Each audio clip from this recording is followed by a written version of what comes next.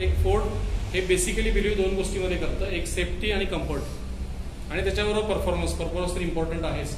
आज फिगोचं उदाहरण तुम्ही घेतलं तर one point five litre engine hundred P S power असणारी डिझेल कार दोन हजार तेरा पासून आहे. इकोस्पोर्ट आहे ज्याचा हायेस्ट ग्राउंड क्लिअरन्स आहे.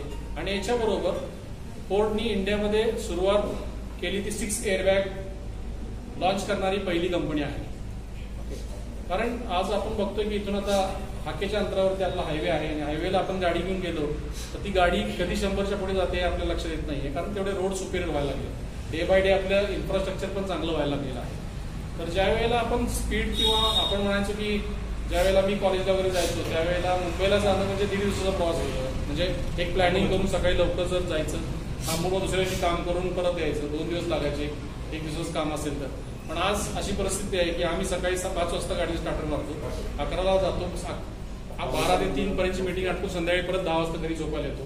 हे इन्फ्रास्ट्रक्चरमुळे होते पण त्याच्याच बरोबर महत्वाचं आहे की ती गाडी तेवढी सेफ असणं गरजेचं आहे. आज ऍक्सिडेंटचं प्रमाण आपल्या इथं जास्त आहे इंडियामध्ये जास्त आहे तर आपण प्रिकॉशन घेऊ शकतो. प्रिकॉशन कुठल्या पद्धतीने घेऊ शकतो? तर गाड्यांच्या मध्ये असणारी सेफ्टी सिस्टीम सेफ्टी सिस्टीममध्ये जसं मी तुम्हाला म्हटलं की फोर्टी सहा एअरबॅग आज फेगो सारख्या गाडीमध्ये सुद्धा जी सगळ्यात स्मॉल गाडी आहे फोर्डच्या रेंजमधली त्याच्यामध्ये सुद्धा सिक्स एअरबॅग आहेत. फ्रीस्टाईलची गाडी अशी बनवली की ज्याला एस आणि कार याचं कॉम्बिनेशन करून हायर ग्राउंड क्लिअरन्स आणि इतर चांगले फीचर्स टाकून ती गाडी तयार केली. सदान ह्याच्यामध्ये ॲस्पायर आहे म्हणजे जे तर आपण म्हणतो की बूट स्पेस ज्या लोकांना जास्त लागतो अशी ॲस्पायर आहे. त्याच्यामध्ये पण डिझेल आणि पेट्रोल आहे ह्या सर्व गाड्यांच्यामुळे मध्ये या कारच्या रेंजमध्ये सिक्स एअरबॅग ही कन्सेप्ट आणलेली आहे. त्यानंतर तुम्हाला सगळ्यांना माहिती आहे की ब्रेकिंग सिस्टीम खूप चांगली असणं गरजेचं आहे. त्याच्या त्याच्यामध्ये फोर्डची मास्टरी आहे. प्लस आता इकोस्पोर्टमध्ये तुम्ही इथे एक स्टँडी बघताय. Presenting Ford Pass smart vehicle for a smart world आज सगळ्यांना आपल्याला आपल्याला एक टेक्नॉलॉजीची सवय लागली. गेल्या तीन चार वर्षामध्ये आपल्याला टेक्नॉलॉजीची सवय लागली आहे. थँक्स टू गव्हर्नमेंट आणि जे काही नवीन नवीन टेक्नॉलॉजी इंडियामध्ये येत आहेत.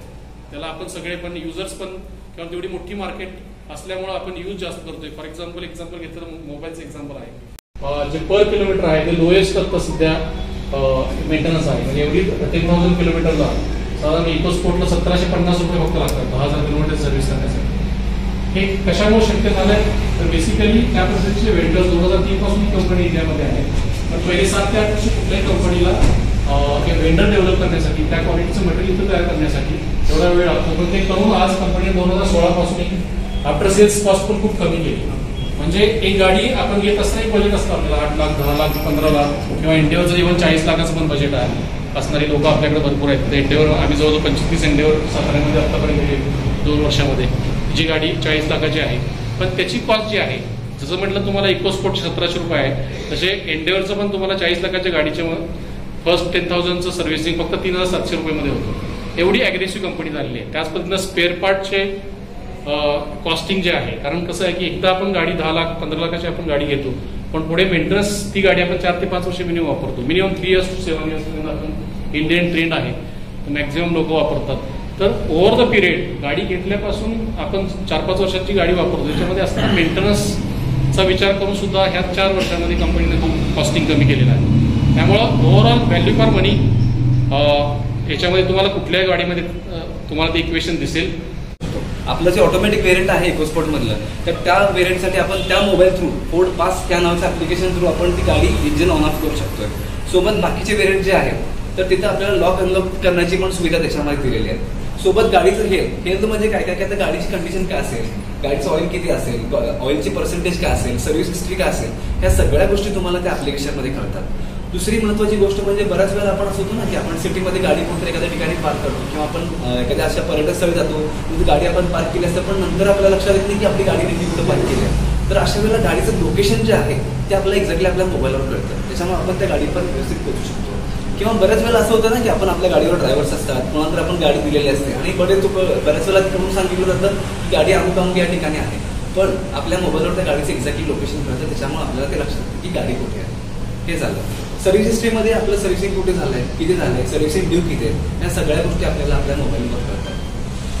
तर असा सगळं पूर्ण चालतं त्याच्यामध्ये total maintenance plan schedule service plan म्हणजे येणारी प्लॅनिंगची सर्व्हिसिंगची जी प्लॅनिंग्स आहेत त्याच्या कॉस्टिंग पण सगळ्या आपल्याला दिसतात आता बऱ्याच वेळा आपण सगळे कार यूज करतो. कारच्या क्लस्टरमध्ये काही वेळा सिम्बॉल्स येतात. बरोबर? ते आपल्याला लक्षात येत नाही की हा सिम्बॉल नेमका कशाचा आहे? मग आपण गाडी पुढे न्यायची की नाही? पुढे गेल्यानंतर बंद पडेल की चालू राहील. यासाठी मग आपण सर्व्हिसमध्ये फोन लावतो. मग तिकडून आपल्याला सांगितलं जातं की असं दिसते का बघा असं दिसते का बघा. कन्फ्युजन होतं आपला प्रवास पुढे कुठला जातो. बरोबर? तर ह्या सगळ्यात एक पर्यायी चांगला मार्ग काढला म्हणजे त्याचे जे सिम्बॉल्स आहेत जे पूर्ण गाडीमध्ये जे सिम्बॉल्स येतात बऱ्याच वेळेला त्या सिम्बॉलची सगळी माहिती तुम्हाला त्या पुढच्या ॲपमध्ये सांगितली गेली आहे. म्हणजे आपल्याला कोणाला कॉन्टॅक्ट करायची गरज नाही. आपण गाडी ऑन करतो. ऑन करतो इन द सेन्स काय करतो? फक्त गाडी चालू बंद करणे चालवणे म्हणजे होईल नाही. तर ह्या सगळ्या गोष्टी आपल्या ताब्यात असणं म्हणजे सोनिंग आहे ना. बरोबर ना? तर हे सगळ्या गोष्टी आपल्याला आपल्या मोबाईलमध्ये कळतात. तर एवढ्या चांगल्या पद्धतीने आपल्याला ते ॲपचा यूज करता येतो आणि याच्यामध्ये प्लस पॉईंट हा आहे की फोडच्या एव्हरी व्हेकलला ते लागू पडतं. मग ते बेसिक मॉडेल असू दे किंवा इंडिव्हिज्युअल टॉप मॉडेलमध्ये असू दे या सगळ्या मॉडेल्समध्ये ती ऍप्लिकेशन लागू पडते. की तुम्ही त्या मोबाईलच्या ऍपवरती बघू शकता. ही गाडी किती लिटर त्याच्यामध्ये डिझेल पेट्रोल आहे किती किलोमीटर जाऊ शकते. म्हणजे आज माझ्याकडे एक ऍप असं येते की ज्या ऍपमध्ये माझ्या गाडीची पूर्ण हेल्थ कळते. आज मला अचानक बऱ्याच वेळा असं होतं की शेड्युल्ड आपला प्लॅन नसतो. शेड्युल्ड ट्रॅव्हल प्लॅन नसतो. पण अचानक आपल्याला रात्री अकरा वाजता कळतं की अरे उद्या सकाळी मला उठून पाच वाजता गाडी बाहेर बाहेर काढून जायचं आहे मुंबईला. मग त्यावेळेला अरे त्यावेळेला या गाडी चेक करा. हे तुम्हाला करत बसायची गरज नाही. You can start that app एक ॲप चालू करू शकता. त्याच्यामध्ये तुम्ही सगळ्या गोष्टी व्ह्यू करू शकता. त्याच्यामध्ये आता काही मॉडेल्समध्ये टायर प्रेशर मॉनिटरिंग सिस्टीम पण आहे. ती तुम्हाला घरी घरी बसल्या बघता येते. म्हणजे जे काय असं आपण व्हॅल्यू या गाडीची आम्ही प्राइस घेतोय त्या प्राइसमध्ये मॅक्सिमम बेनिफिट द्यायचा प्रयत्न कंपनीने केलेला आहे. आता बऱ्याच वेळा तुम्ही डिसेंबरमध्ये पाहिलं असेल की डिसेंबरमध्ये जो मार्केटमध्ये सेल झाला ऑल कंपन्यांचा त्याच्यामध्ये एक गोष्ट सांगितली गेली की BS four to BS six he price खूप हाय होण्याची चान्सेस आहे. ओके आता या केसमध्ये फोर्डनी जी इकोस्पोर्ट आपल्याला लॉन्च केलेली आहे ज्या इकोस्पोर्टची प्राइस अगोदर होती त्याच्यामध्ये फक्त फिफ्टीन टू सिक्स्टीन थाउजंडचा प्राइस केलेला आहे. डिझेल पेट्रोल दोन्ही गाड्यांच्यामध्ये म्हणजे आज मार्केटमध्ये इतर कॉम्पिटिशनमध्ये पन्नास हजारपासून दीड लाखापर्यंत गाड्यांची प्राइसेस वाढली आहे हे का सांगतोय मी? तर ज्यावेळेला गाड्या लॉन्च केल्या डी एस फोर अगोदर ज्या गाड्या होत्या किंवा आता सुद्धा आम्ही ज्या रजिस्टर करून दिले त्याच्यामध्ये इंजिन होते ते already B S six compliance होतं. आता जे चेंजेस केले ते मायनर चेंजेस करून किंवा जे काही गव्हर्नमेंटने या या वेळेला एमिशनचे नॉर्म्स टाकले त्यामुळे मायनर चेंज करून लॉन्च केले. त्यामुळे फोर्ड सारख्या कंपनीला ते शक्य आहे की प्राइस पण ती कंट्रोलमध्ये ठेवता आली अदरवाईज तुम्ही मार्केटमध्ये दोन तीन कंपनीचे बघितलं तर मिनिमम सेव्हन्टी फाय थाउजंड डिझेलची प्राइस वाढली. B S four to B S six आपल्या गाडीमध्ये तो एक ऍडव्हान्टेज मिळाला. आहे त्याच पद्धतीने आता किगो ऍस्पायर फ्रीस्टाईल आणि एंडेवर ह्या सुद्धा गाड्या लॉन्च होत आहेत थोडं थोडक्यात एंडेवरबद्दल पण मला तुम्हाला सांगायला आवडेल. कारण ह्या लॉन्चचे उद्देश दोन आहेत. एक तर आम्ही काय देतोय लोकांच्यावर पोहोचणं गरजेचं आहे. आणि मी सगळ्यात तुम्हाला सगळ्यांना रिक्वेस्ट करेन की मार्केटमध्ये फक्त एक गोष्ट तुम्ही जरी स्प्रेड केली की डिझेल सुद्धा गाड्या अवेलेबल फोर्डमध्ये बीएस सिक्स आहेत. हे लोकांच्या पोचणं खूप गरजेचं आहे. कारण आता लोकांचा माइंडसेट झाला आहे जसं की फॉर एक्झाम्पल मारुती आपला सगळ्यात मोठा प्लेअर आहे इंडियामध्ये. त्यांनी तो बेस आहे आपल्या इंडस्ट्रीचा इंडियन इंडस्ट्रीचा त्यांच्याकडे आता फक्त पेट्रोलच्या गाड्या आहेत.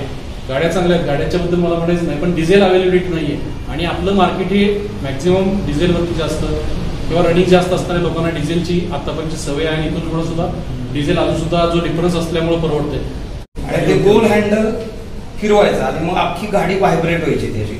खडखड खडखड खडखड खडखड चालू व्हायची.